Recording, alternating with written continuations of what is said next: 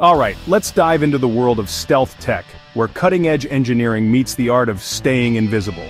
The US Air Force's latest pride and joy, the B-21 Raider, is a strategic bomber that's pushing the boundaries of what stealth can do. Built on decades of innovation, this aircraft is designed to tackle the toughest challenges of tomorrow's conflicts. Today we're unpacking what makes the B-21 a game-changer and how it stacks up in the ever-evolving world of military aviation. Since jet bombers first roared into the skies in the mid-20th century, military aviation has been on a relentless march forward. Each new generation brings more secrecy, more lethality, and more smarts. Back in the 90s, stealth tech got some flack in the US from folks looking to trim defense budgets, but fast forward a couple of decades, and it's clear stealth has rewritten the playbook for intelligence ops and missions deep behind enemy lines. That said, it's not a magic wand. Stealth comes with trade-offs, Speed and aerodynamics often take a hit. Take the F-117 Nighthawk and B-2 Spirit, no afterburners so they're capped at subsonic speeds. Sure, going supersonic is thrilling, but the sonic boom and blazing engine heat light up enemy radars like a 4th of July show. Plus, higher speeds burn through fuel fast, cutting range or requiring bulky tanks, not ideal for stealth. Early stealth planes also wrestled with aerodynamic instability, Keeping them stable required digital fly-by-wire systems, where computers constantly tweak controls to keep things smooth. Another hurdle? Special coatings. Engineers needed materials that could scatter radar waves without adding weight or breaking the bank.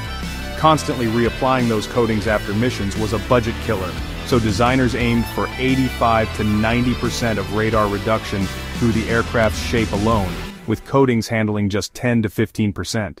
The first whispers of a new U.S. stealth project surfaced in 1975, with Defense Daily mentioning a high-stealth 2 inches aircraft.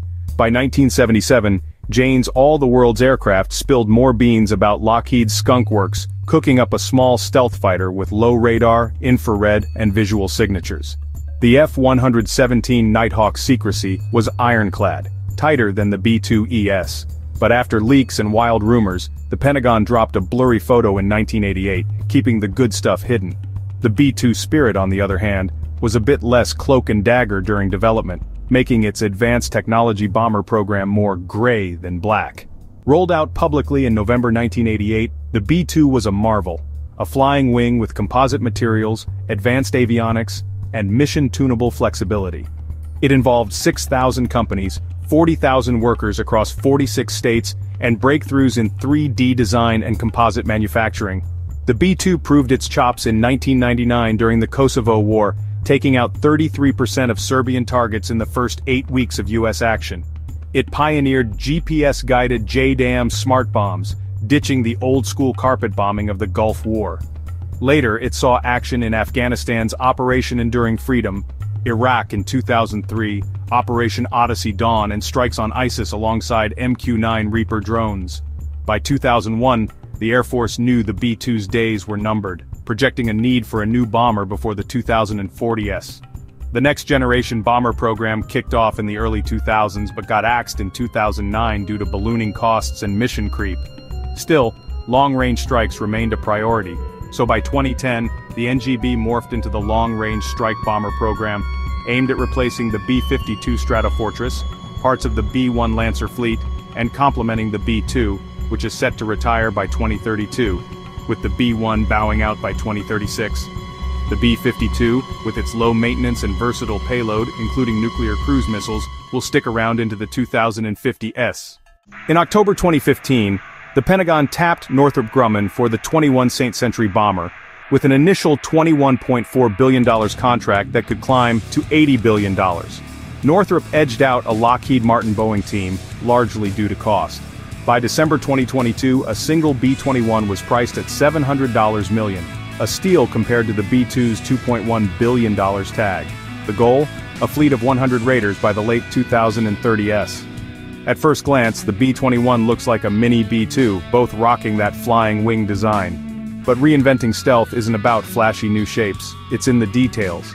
The B-21 boasts a higher ceiling, boosting sensor range, easing comms, and sharpening pilot awareness. Operating above 50,000 feet keeps it out of reach of enemy fighters and early warning planes. Defense Secretary Lloyd Austin called it unmatched, noting it can strike anywhere without needing forward bases or heavy logistics support. The B-21's range is a standout, letting it slip through anti-access slash area denial defenses stretching thousands of miles. It can loiter in contested airspace, tracking targets with every extra mile of fuel counting. Recent photos show a sleek, seamless design with broadband low observable cues. Panel seams are nearly invisible and air intakes, once a stealth engineer's nightmare, blend flawlessly into the wing. Advances in materials and computer-aided design allow massive composite parts with fewer joints, making it easier to coat with radar-absorbing material, RAM.